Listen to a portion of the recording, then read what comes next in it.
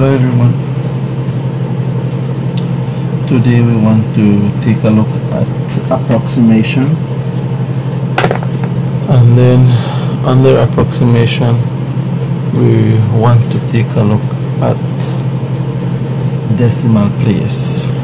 Now you already know how to approximate to different place values right approximate to the nearest tens thousands and so on. This one is decimal place. Now um, there are some problems that whenever you solve them especially those in trigonometry that whenever you solve and you get your solution your answer ends up to be like for instance example um,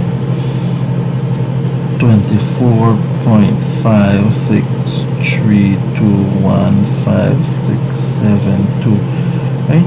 You get something like that.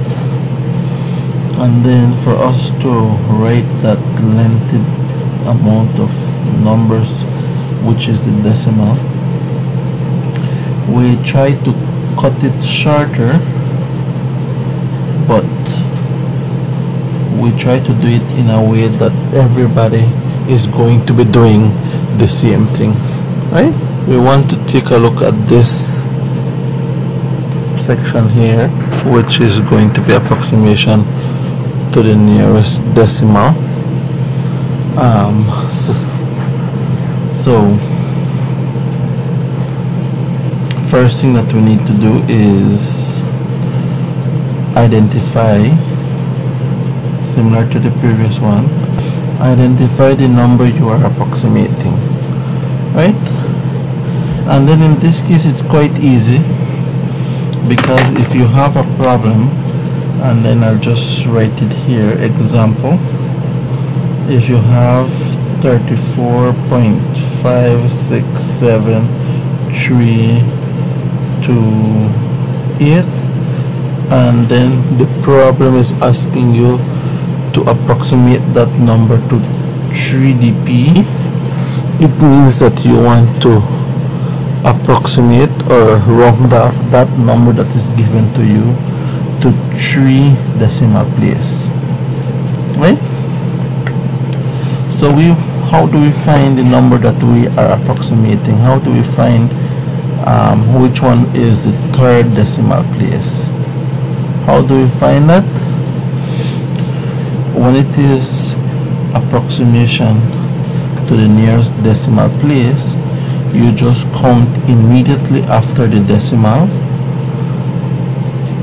starting off with the first decimal place which is the 5 the second decimal place which is the 6 the third decimal place which is the 7 the fourth decimal place which is the 3 fifth decimal place which is the 2 and the sixth decimal place which is the 8 since we want the third decimal place that is going to be the number 4 right? So that means that the number I am approximating cutting it up the number up to that point is going to be the 7 after you have found the number that you are approximating you take a look at step 2 which is look at the number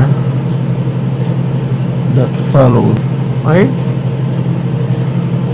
If that number is and that's going to be scenario A if that number is less than 5 which include the numbers 0 1 2 3 and 4 right? So if the number is less than 5 leave as is or leave as is which is add 0 right? The rule says if the number is less than 5 which is if you see that the number that follows is a 0 1 2 3 or 4 then you leave it as is. Now what will leave it at, as it is? That is just if we add 0 right? B if the number is greater or equals to 5 if it is greater or equals to 5 which means if you see that the number is a 5 6 7 8 or 9 then you add 1 so that's basically it in terms of approximation by decimal. If the number that you look after after you have found the number approximating is less than 5 you add 0 if it is greater than 5 or equals to 5 then you add 1 the number that follows here is a 3 it is less than 5 so we add 0 so we're going to say plus 0 here. And then all the other numbers that follow will become 0 the 3 will be 0 this 2 will be 0 and the 8 will be 0 so let me start off with 3 zeros.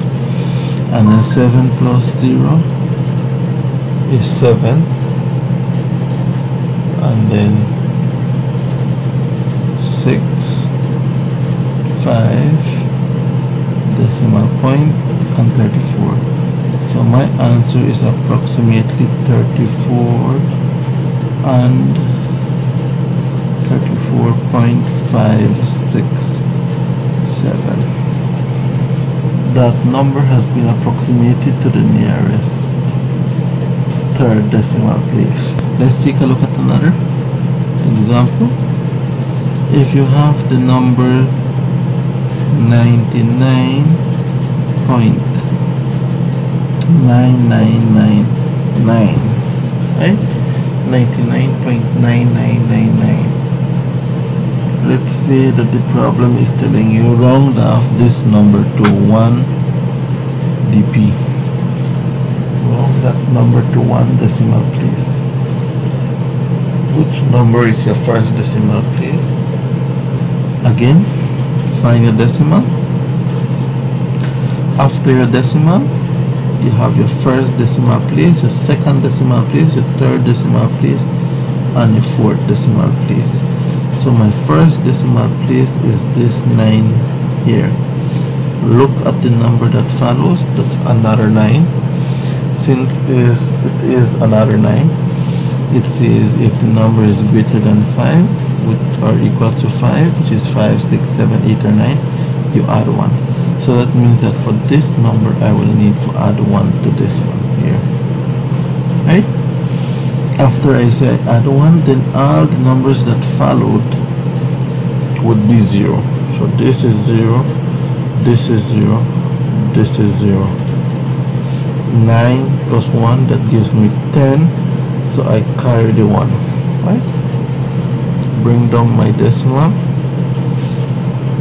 9 plus 1 again 10 carry the 1 and then 9 plus 1 10 so my answer is approximately 100 so it's approximately 100 let's take a look at another one and then we we wrap this up. All right so what if you had 8.476211 and then this problem said to 2 dp again immediately after the decimal you have your first decimal place you have your second decimal place which is the 7 after that then you look at the number that follows that's a 6 if the number is less than 5 then you add 0 if the number is greater than 5 or equals to 5 you add 1 bigger than 5 yes. So we say plus 1 and then we underline and then we know that all the numbers that follow will become 0 so 1 0 for the 1 another 0 another 0 another 0 7 plus 1 that's 8 bring down the 4 and bring down the 8 so my answer is approximately 8.48 right I hope you like this video. Leave your comments. If you need additional help please let me know. Ask questions. Maybe your maybe your friends can assist you